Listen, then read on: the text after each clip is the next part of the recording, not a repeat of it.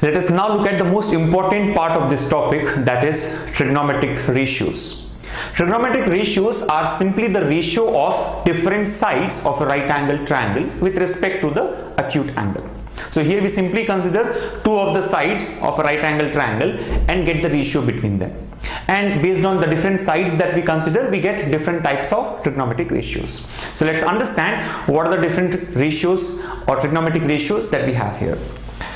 Here we have a right angle triangle ABC which has got a right angle at vertex A, right, at point A. Now we know that the side which is opposite to the right angle is known as hypotenuse which is denoted by small h here, right. So the side opposite to the right angle A is hypotenuse h and the initial line or the base of the triangle here is denoted by B, right. So AB is the base and BC the hypotenuse and then there is a perpendicular line to the base which is denoted by small p alright. So AC is the perpendicular, AB is the base and BC is the hypotenuse. So these are the three different sides of the right angle triangle, right? The base, perpendicular and the hypotenuse. And here we have an angle theta made at the vertex P, right? So the angle here is theta at the vertex P. Now with respect to this angle theta, we are going to consider the different trigonometric ratios, alright? Now if you observe the side which is opposite to theta. Angle theta is the perpendicular p right? So what is opposite to theta? Perpendicular p. What is adjacent to theta? It is the base p alright? And this is known as hypotenuse. So with respect to theta we have got an opposite side an adjacent side and the hypotenuse alright? With respect to the right angle we can consider there is a base b perpendicular p and hypotenuse h. Now let's see what are the different trigonometric ratios that we get here uh, with respect to the different sides the first one here is sine theta, right? Sine theta. Sine theta is the ratio of opposite side to the hypotenuse, right? So sine theta is equal to opposite side, which is P by hypotenuse, right? So P is to H, or we can say P by H. This is sine theta. Next is cosine theta, which is in short known as cos theta, right? What is cos theta? Now this is the ratio of adjacent side to the hypotenuse, right? Sine theta was opposite side that is P to the hypotenuse H.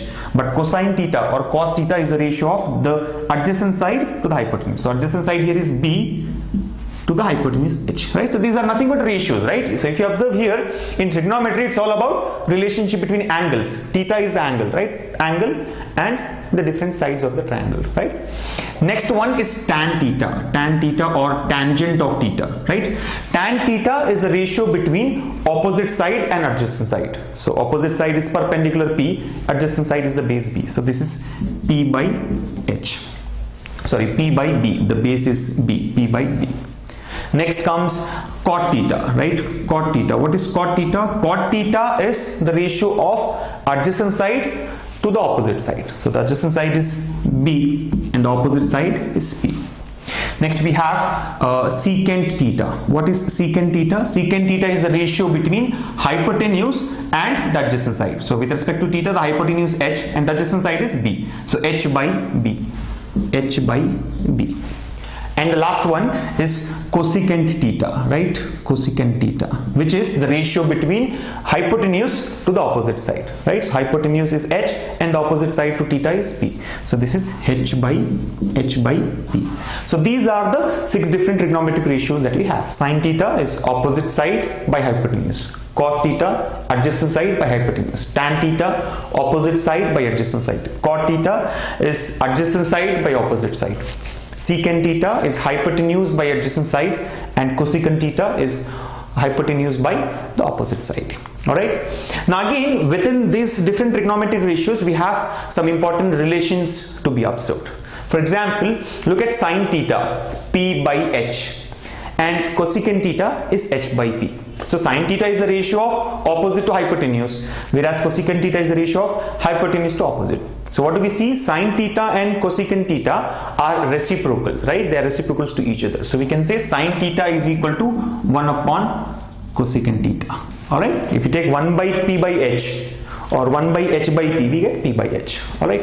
Likewise, cos theta and secant theta are reciprocals of each other, right? Cos theta is b by h, whereas secant theta is h by b. So we can say cos theta is equal to 1 by secant theta.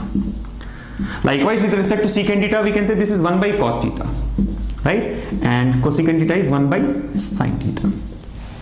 Again, if you look at tan theta and cot theta, these are reciprocals to each other. Tan theta is P by B.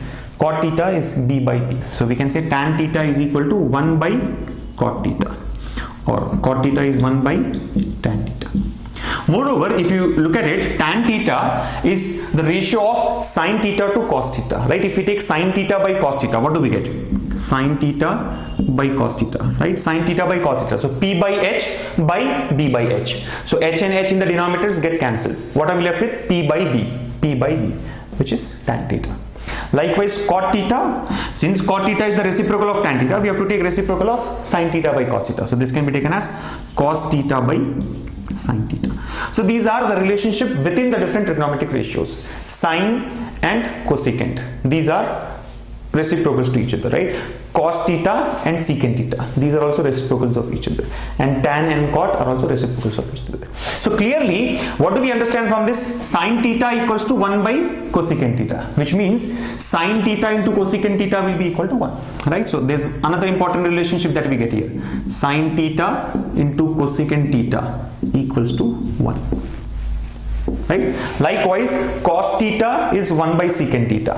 So we can say cos theta into secant theta is equal to 1 whatever be the angle right? Whatever be the angle theta acute angle theta cos theta into secant theta will be equal to 1 likewise sin theta into cosecant theta for any angle will be equal to 1 and tan theta into cot theta will be equal to 1 so uh, the other identity here is tan theta into cot theta